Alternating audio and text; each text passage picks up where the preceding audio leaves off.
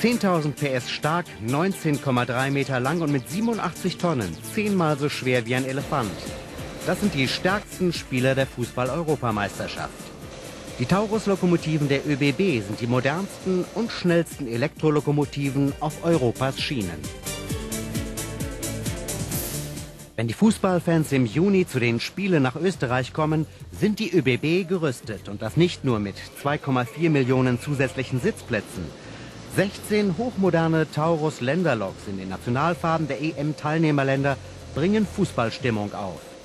Die durchdesignten ÖBB Taurus-Lokomotiven werden während der UEFA Euro 2008 mehr als zwei Millionen zusätzliche Fahrgäste ans Ziel bringen. Die stärksten Spieler für die Beförderung der Fans ins Stadion sind somit auch Österreichs stärkste Werbeträger. Wir wollten als ÖBB Werbecenter für diese Fußball-Europameisterschaft eine Verknüpfung schaffen zwischen unserem Transportauftrag Mobilität und unserem Werbeprodukt. Und entstanden sind 16 sensationell schöne Länderloks und eine, die alle Nationen miteinander abbildet.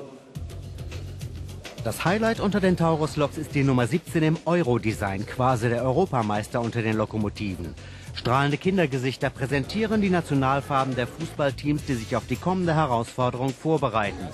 Auch die ÖBB sind startklar und bieten zusätzlich zur aufgerüsteten Zug- und Busflotte unterstützende Informationen für alle.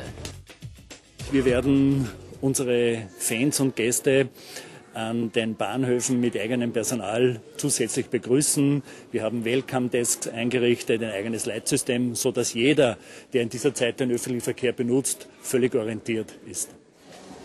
Um aus einer Taurus-Lok eine Eurolok zu machen, sind insgesamt rund 120 Quadratmeter Folie notwendig. Diese werden wie beim Tapezieren auf der Lok verklebt.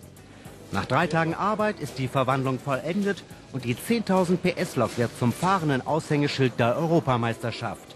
Denn von jeder Lok strahlen Spieler, Fans, die Europakarte sowie die Nationalflaggen der Teilnehmerländer. Um das Ganze noch zu toppen, ist mittlerweile sogar noch eine 18. Lok dazugekommen. Sie ist dem Veranstalter der Euro 08 gewidmet, der UEFA. Wer wissen möchte, wo sich die Loks gerade befinden, unter www oebb.at slash Euro 2008 wurde ein eigenes Tool eingerichtet, das die nächsten Positionen und planmäßigen Aufenthalte der Länderloks zeigt. Der Countdown läuft.